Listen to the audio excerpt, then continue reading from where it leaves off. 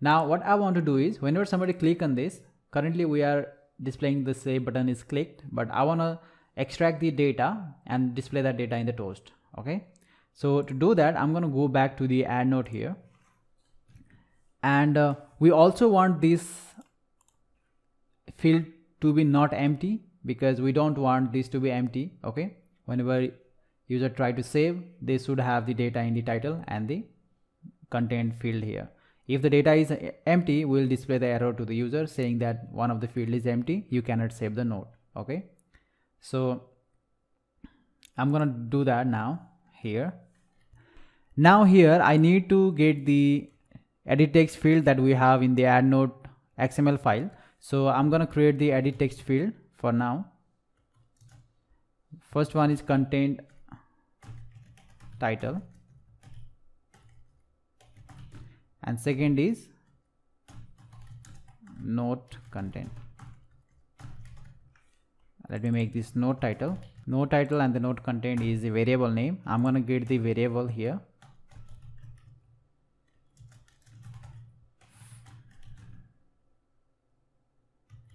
Add note content as well as note title so find view id art dot id dot add note title. Okay. Now inside this on click method i'm going to extract the string that is passed through these variables.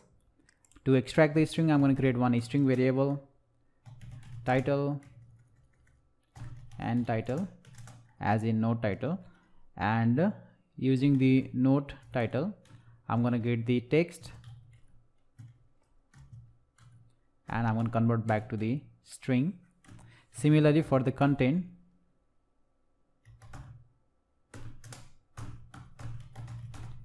content node content dot get text dot to string. Okay now I can check these uh, and title and end content is empty or not. So I'm going to use for loop and title dot is empty or and content is empty. If one of these and one of these titles or content is empty it's going to execute this block of code. So i'm going to display some message to the user saying that okay? And i'm going to return to the same activity.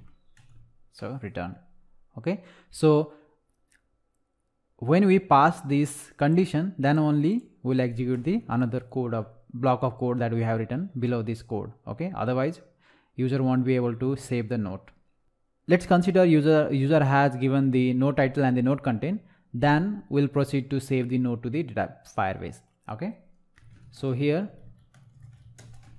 note. so to save the note to the firebase we need to create a collection. Collection will have the multiple documents. So in our case, collection is notes. So notes is our collection and inside notes we'll have multiple note. Okay. Like this, we have multiple notes. So we'll save the multiple number of notes inside the notes collection. So nodes is like a container here and inside that we'll have the multiple data and each node is considered as the document and that each node have the its own field like node title node content node date and the note uh, you know owner who ha whoever has created that note and so on. Okay to save the notes first i need to specify the position in the collection. So for that i need to get the reference of the document. So doc ref and uh, I'm going to specify the collection using the Firebase store. So fe store, I'm going to get the collection. And in our case collection is notes. And we have the documents.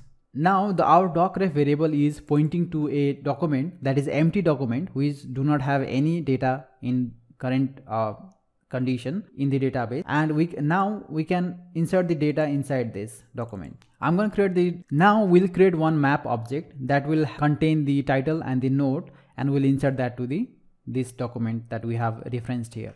So for that i'm going to create new map and this map will take the string and the object so map always take the key value pairs you must remember that so this is node and i'm going to create new hash map and the string the key that we give here is the key that is used to identify the particular field in the document. So guys, uh, this might be a little bit confusing. So if you don't know what I'm talking about here, you can actually check the Firebase documentation. I'll link that uh, particular documentation link in the video description. So, so just go there and uh, read the like five minutes of content is there. So you can read the simple description of collections and uh, Firebase documents. So, so now I'm gonna add the note dot put. I can use this put method of this map object to add the new key value pairs. So first thing I want to add is title and the I'm going to get the title from the title variable so that is n title and second thing I want to add is the content so content now I will use this document reference to insert the data into this particular document that I have referenced here okay? So that is empty right now but now I'm going to insert the node data that user have created in the add node activity. So docref dot set we can use this set method.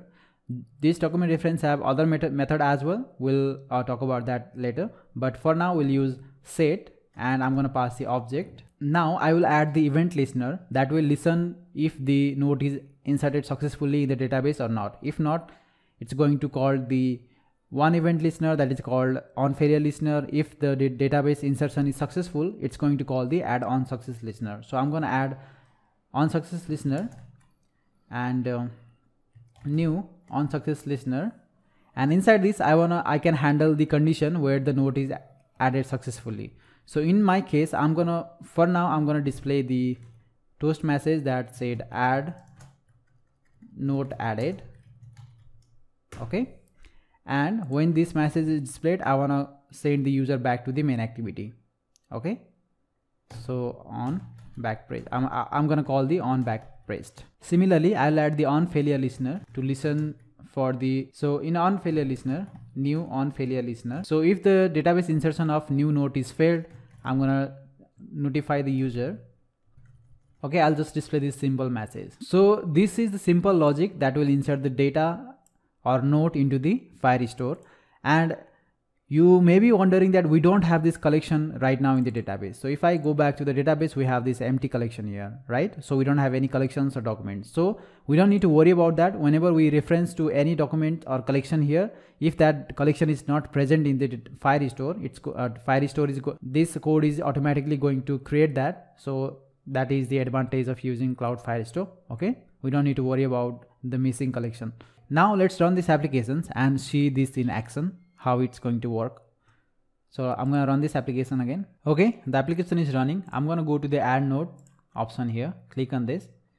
Now i'll add this i'll add the new title and i'm going to add the content. Now whenever click on the, whenever somebody click on this save button it's going to do everything in background and we'll get the message here. So it says note is added and it is sending me back to the main activity right? So now to confirm the data is added or not, I'm going to go back to the database here and I'm going to refresh this and we will see the collection and the documents that we have created. Okay, we have node collection here already created and we will see new document here and the ID is automatically generated because I have not given any specified ID here. So the database, database will do that for us. So we don't need to worry about that and here you can see the title and the content which is the key that I have given to the map while creating the new map. And we have this new node and the content of new node. And let's go back to our application and add one more node just to show you guys how it's going to work. So I'm gonna let the title be the untitled and uh, I'm gonna add the new node content. So just add some random characters and click and save. And it's going to add the new document. And you can see in the real time that new document is added here. And if I click on that we'll see the new title and the content. Okay guys so this is how we insert the data. Okay so let's go to the add note here as well. So i want to display the progress bar here when somebody click on this save note okay? Because sometimes it takes a little bit more time to save the note based on the network here uh, your cell network or the internet connection speed. So i want to display the uh, progress bar here so to display the progress bar, I'm going to go to the content add node here and I'm going to select one widget. And from here, I'm going to, I can select the progress bar and display here.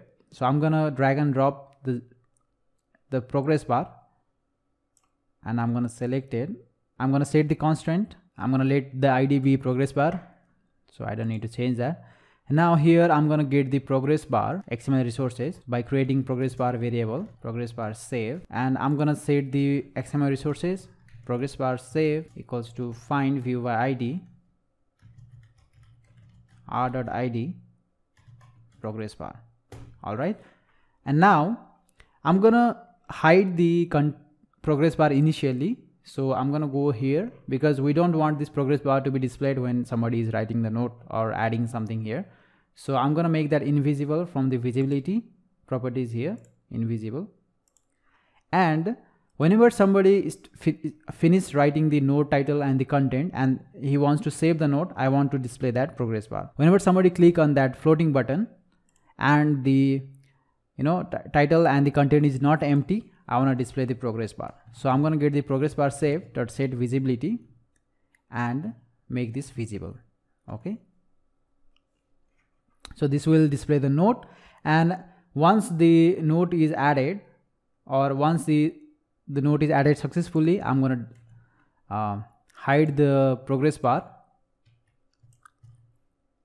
or actually I don't need to hide it because we are uh, going back to the main activity. But if any error occur I, I want to hide that progress bar okay? Save and run this application and we will see the working demo.